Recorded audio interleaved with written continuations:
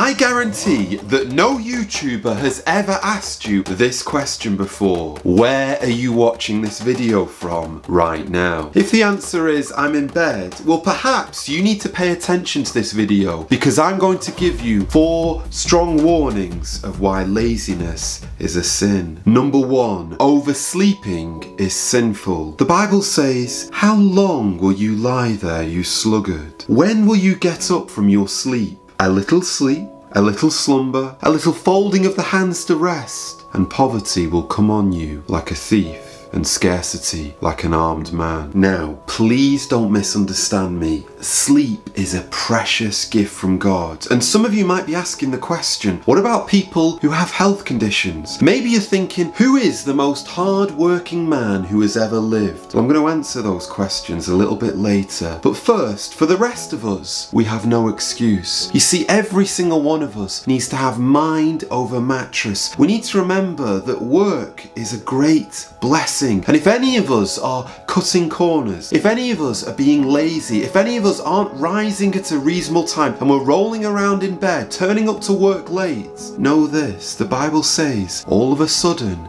you will lose your job. That has happened before. People all of a sudden have gone bankrupt as quick as a bank robbery because they'd rested on their former successes. They'd rested on the work they did before, but they didn't take the job and the position seriously that the Lord had granted them each and every day. Okay, let's just stop there for a minute and let us remember this. In the Bible, there is a Sabbath principle. We were not made to work constantly and never have a rest. No, our bodies need recharging. We need to get sufficient sleep. Why? Because we're not God. We're just made from the dust of the ground. And for us to think that we can keep working is actually an affront against the Most High God because we're saying we have the same energy as you when we don't. So let us remember, yes, sleep is a gift from God, but let none of us abuse this precious gift. And if you're abusing it, you know who you are, and you're only doing a disservice to yourself. Because God created man, and He put him in a garden to work. Because when we work, when we find our calling, when we have a purpose, that's actually when we're most happy. Number two, stop making excuses. Proverbs 26 verse 13, a sluggard says, There's a lion in the road, a fierce lion roaming the streets. This is almost comical, isn't it? You can imagine a boss ringing up one of his employees and saying, John, where are you? Are you coming into work today? Um, I'm sorry, boss. I just need to stay at home today. Why, John? Well, there's a lion in the road. A lion in the road. Yes, it's big and it's got big teeth, and if I go out on the road, it'll devour me. Okay, John, okay, I, I, get what you're saying. Shut the door, stay indoors, and make sure you keep as far away from that lion. Anything you say, boss. Guys, we might be able to fool our earthly masters with excuses, with lies, but we will never be able to fool our heavenly master. Why? Because God will not be mocked. I did say to you that I wanted to talk to you about people who have good excuses, people who have health conditions. For instance, I know a lady who needs at least nine hours sleep a night because she's got rheumatoid arthritis. And on top of that, when she wakes up in the morning, it can take her almost two hours to get out of bed because her body is so stiff because her joints are so inflamed. So perhaps that's you. Perhaps you feel tired all the time. You're worn out. Your body is weak. And if you're listening right now and you have got a condition, you need to hear these words. You're not lazy and God loves you and He's with you through this pain. But maybe you don't know you've got an underlying health condition. And if you are feeling tired or depressed, I really want to encourage you go to the doctors because this could be fixed with just a simple change of nutrients or a bit of help. So what do I mean by making excuses? I'm talking about the man or the woman who is always playing the blame game. Let me tell you about someone who never made excuses. You know the story well. Joseph was sold into slavery by his own brothers, betrayed. And then he finds himself in a rich man called Potiphar's house. And Potiphar starts to give Joseph a job. And as Joseph works that job, he excels, he works hard. So then Potiphar raises him up higher and puts him in charge of all of his things. And everything that Joseph's hands touch, it prospers because the Lord was with him. But then there was a woman who took a liking to Joseph. It was Potiphar's wife, and she kept saying, Come lie with me, Joseph, come lie with me. But Joseph fled away because he was an honest, righteous man. But what was his reward? He got falsely accused. And where did Joseph find himself? He found himself in the depths of a dark Egyptian prison. And instead of complaining, instead of playing the blame game and saying, God, is this how you repay me? Is this how you repay me for being a good man, a righteous man? Here I am in prison. No. What did Joseph do? He worked. And as Joseph touched other things in this prison, it began to prosper until he was in charge of all of the prison because he worked despite being around the darkness. And God took him out of the darkness, took him out of the depths, and raised him to the heights, to the point where he became the president over Egypt. My dear friend, let us be like Joseph, even when we're in darkness, even when we've been wronged, even when we're in a difficult situation. Let us work for the Lord that our light might shine before all men. Number three, the third warning against laziness is the private always becomes public. Let me tell you something. You show me any man in the world who's achieved something big for God, and I'll show you a man who has lived a life of sacrifice. It's true, isn't it? The man who wakes up early every morning, the woman who spends so much time seeking the Lord's face, when she goes out into the real world, there's a light that radiates, that beams from them. Because just like Moses, when he saw the glory of God, people could see his face was shining. So we can tell when a man or woman has spent a lot of time in quiet looking for the Lord.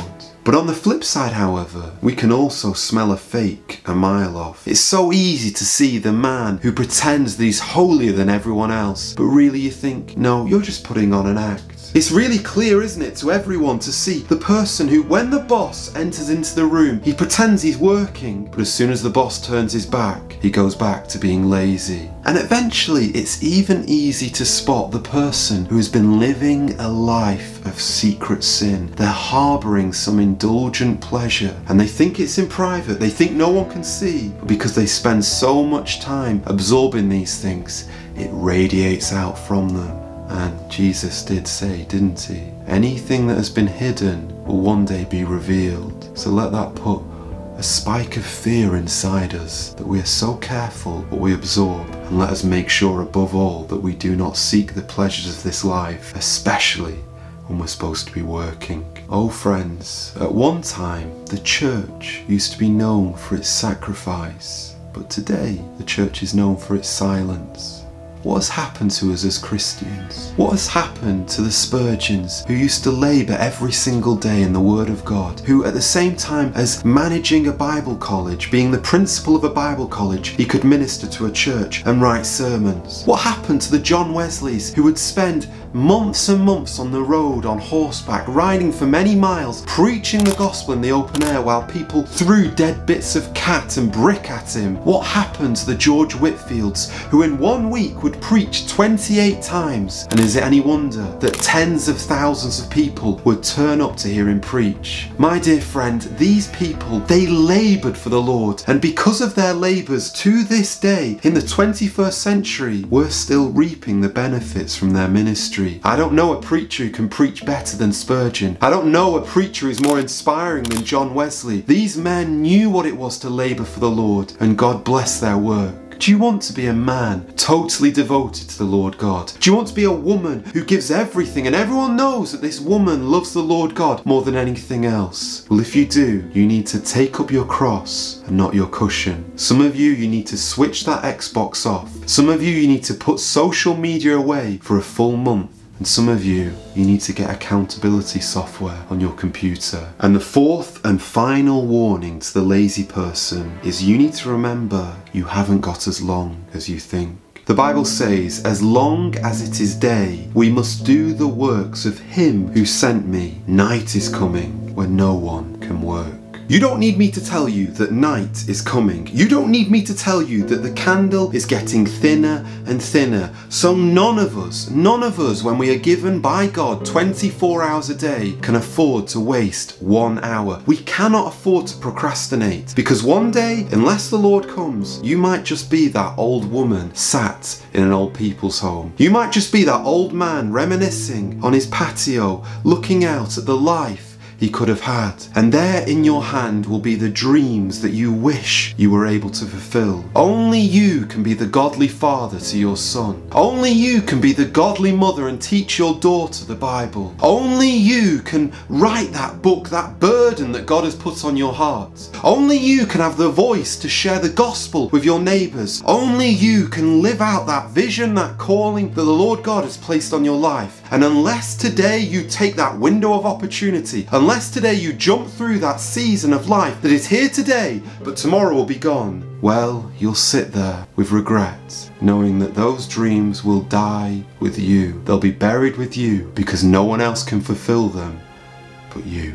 So, here's the point you've all been waiting for. Who is the most hard-working man that has ever lived? Well, if you're still with me now, if you're proven to me that you're not a lazy person, you've put the time in to watch this video, just see if you can write the answer down in the comment box and then I'll know you're still with me. But I'll tell you, the answer is found here in John chapter 4, verse 34. The Bible says, My food, said Jesus, is to do the will of him who sent me and to finish his work. So who's the hardest working man that ever lived? It's the Lord Jesus Christ. He was always about his Father's business. He was always working hard. There was points when he was so busy that he was too busy that he couldn't eat. He, yes, at times he said, come aside and rest a while, but he always made sure that he never wasted an hour. He spent time in prayer. He spent time feeding the poor. He spent time healing the sick. In fact, one of the most beautiful passages in all of the Bible for me is when that blind man, he could hear the crowds. He could hear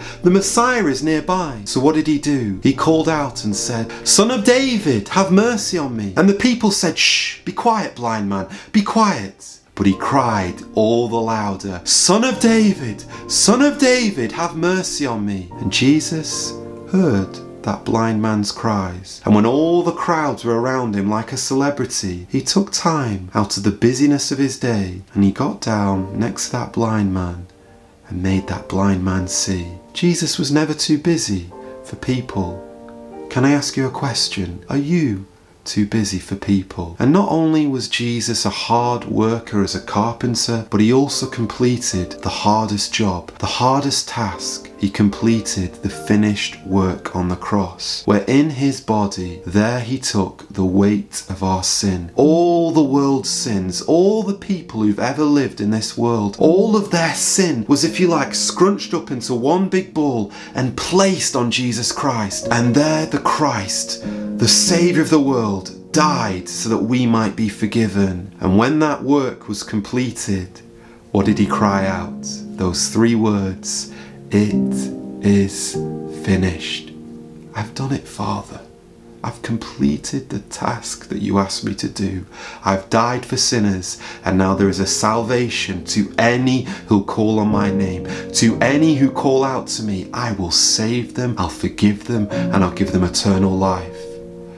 That is the most beautiful message. Yes, we're to work hard at our jobs. And yes, the Bible says we're to work out our salvation with fear and trembling. But there is no good work that we can ever do to earn our salvation. God never says, oh, you've been a good boy, Joe. Here, you can have salvation. You've been a good girl, Emma. Here, here's your salvation. No, we don't contribute any works of ourselves. We rest in all of the work that Christ has done. And I think that is a beautiful thing to dwell on because Joe Kirby hasn't got any good work to give to God, but Christ Jesus certainly has. We've only scratched the surface on how important time is, and some of you, you need to hear this message because I think it'll wake you up. I'll see you over there. And if you haven't yet subscribed, please do consider subscribing. I really do want to see you again. God bless you all, and thank you for watching.